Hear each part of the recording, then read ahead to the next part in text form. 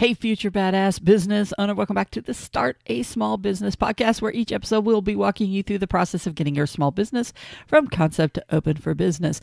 In today's episode, we are going to be discussing your profit and loss income statement and how it is a powerful tool in your tool belt for making the most profit in your business. Okay, now we have been talking about how important it is for you to understand your business numbers from day one. Just because you're starting a new business, it doesn't give you a pass on diving into this from the very beginning. And I guarantee you that if you were to ask small business owners what they wish they would have paid attention to early on, it would have been this. The number one report that you need to understand is your profit and loss income statement. It is your business's report card. It's going to show you the flow of money through your business. Now, you might recall from a previous episode, I told you about the number one calculation you need to know.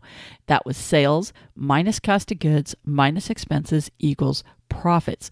Well, this formula not only shows you how to price your products and services the best way, but it also matches the flow of money through your business, which means it also matches your profit and loss statement.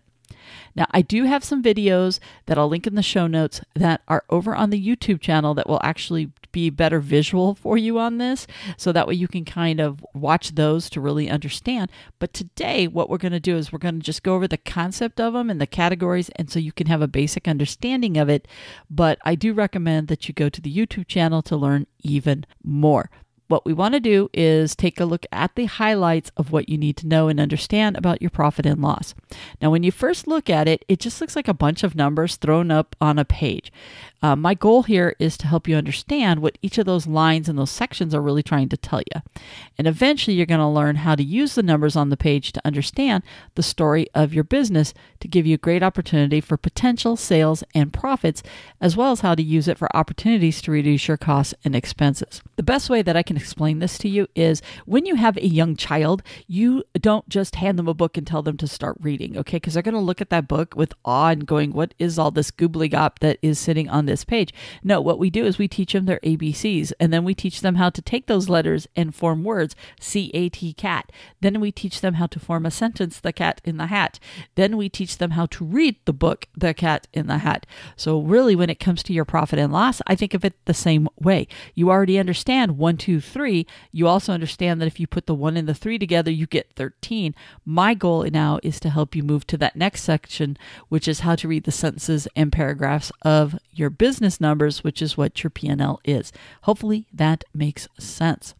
Now, let me step back for a second because I really want you to understand what a profit and loss statement is and how do you even get it. What you're supposed to be doing from the very beginning is using a bookkeeping system. Inside of this bookkeeping system is a report, and it is called your profit and loss. It's going to take the information that you're keying into the bookkeeping system and because if you're categorizing everything the right way, which you should be from the beginning, what's going to do is it's going to create this profit and loss.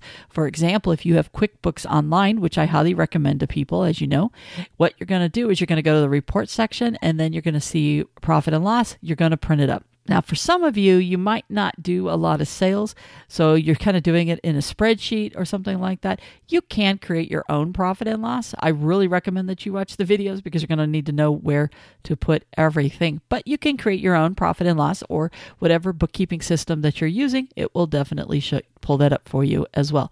It really sounds complicated, but it's not as complicated as it sounds the main thing is is that when you key in your transactions or any bills or money that you take into the bookkeeping system that you assign it to the proper category. So for example you're going to decide the very first thing is the item that you're keying in. Is it income or is it sales? If it's income you're going to put it into the income category which you can break down by the way or have a generic income category. Then you're going to decide if it's an expense. And then if it's an expense you're going to determine what type of expense that it is.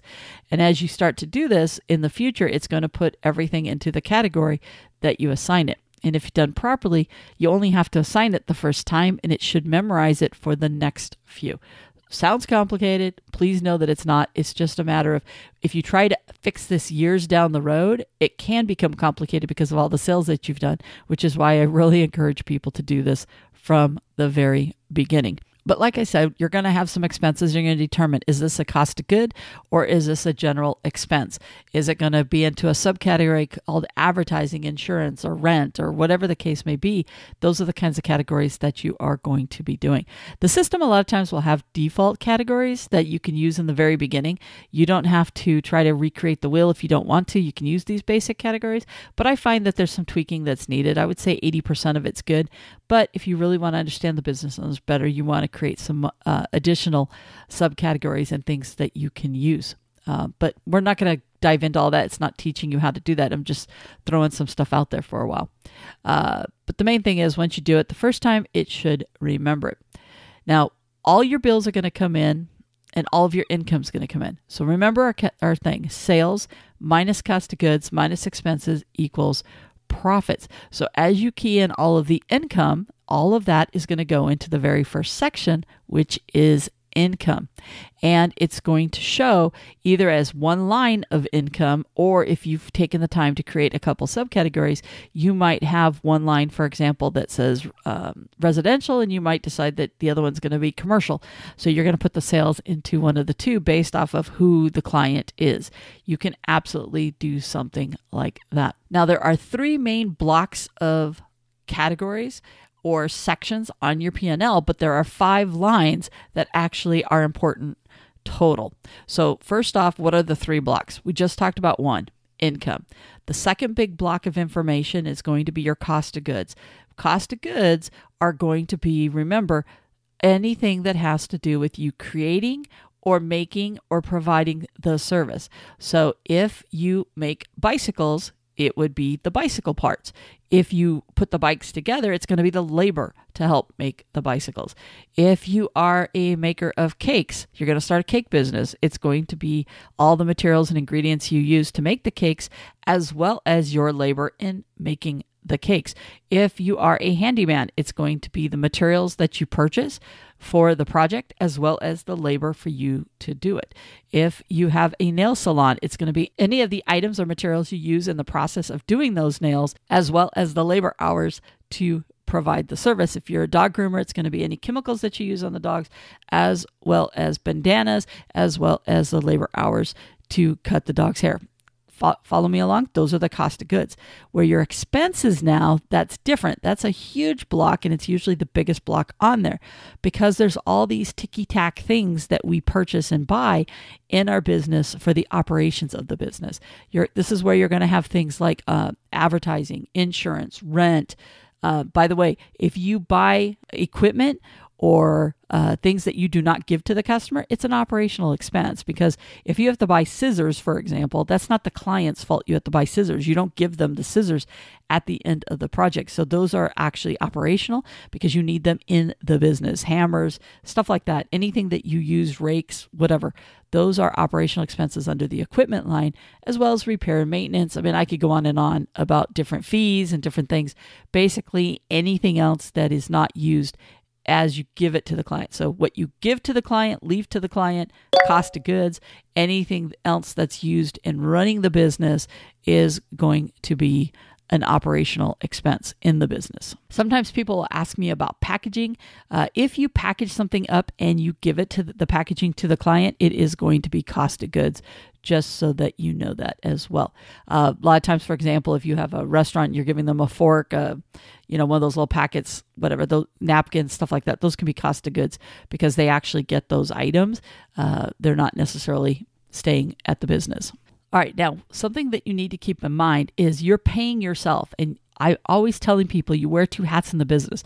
There's the employee you who's getting paid, and then there's the business owner you that's getting paid off of the success of the business. By the way, under cost of goods is where you need to capture your time and labor for being an employee in the business if you are making the product and or you are providing the service. So, for example, let's just say that you build decks. You're going to be paying for the wood as well as the labor to build it. So, what's going to happen is you're going to go out and you're going to pay for the lumber. That's going to be into your cost of goods. But if it takes you five, six hours for you to do that deck, there needs to be labor hours and labor pay for you paying yourself a fair wage for being the laborer in the business Because here's the thing in the future, you plan to replace yourself or you might hire someone to replace you. It's very important that you have a clean cost of goods because whether you're paying yourself or you're paying someone else that needs to be captured. Now, it might be one check that you write yourself, or you might not necessarily pay yourself hourly, but you need to capture any money that you're paying you, the employee, in that line if you are somebody that is doing the actual work that is providing the service or making the product or service. You can have other owners' wages as just being an owner later on, but and it could be one check it doesn't really matter. That's more of a tax thing because you're going to pay taxes no matter what on any money you take as a business owner whether it's as an employee or as a business owner. And by the way you're not going to set yourself up on actual payroll okay? You're just writing yourself a check from the company. Uh, a lot of times people will question if they have to set up actual payroll when it's just them. No you do not do that. Um, but what we're trying to do is we're just trying to capture the money that is spent on labor properly. Hopefully, that is not too confusing. Uh, I do explain it, like I said, in those videos a little bit more. But the main thing is you want to capture your true cost of goods the best that you can.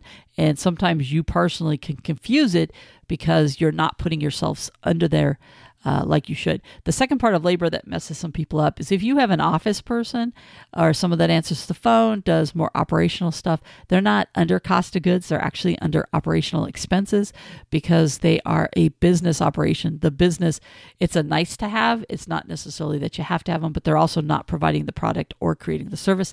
Therefore, they are not a cost of goods. I know this gets really confusing, but I promise you, the more you understand and learn and dive into your P&L, the more this all makes sense. So our big three categories, just to pull it back, is going to be the income coming in, the cost of goods, and the expenses, operational expenses of the business. Now, you remember I said there's five lines that are really important. The first line is your total income. So if you do have it broken down, your first line that you're looking at is going to be your total gross income. Sometimes they'll say revenue, income, stuff like that. It's going to be all the money coming into your business. The second line is going to be those cost of goods. So you're going to have another line that totals up all of the cost of goods and it's going to tell you what that number is. Then there's going to be this little line in between that and the expenses. And that line's going to say gross margin. And the gross margin is going to be the difference between your sales and your cost of goods. So if you do $100 in sales and you have $50 in cost of goods, it's going to say your gross margin is 50%. It just basically means that you've spent half the money and the other half is rating to go to your expenses as well as hopefully some potential profit. Some people's cost of goods are really low at 20%, which means they have a gross margin of 80%. Some people's cost of goods are extremely high because of their type of business. It might be 70%, which means that they have 30% gross margin. It just depends upon the business. There is no right number, except for there's a number that's a range for the average business and definitely for your type of business.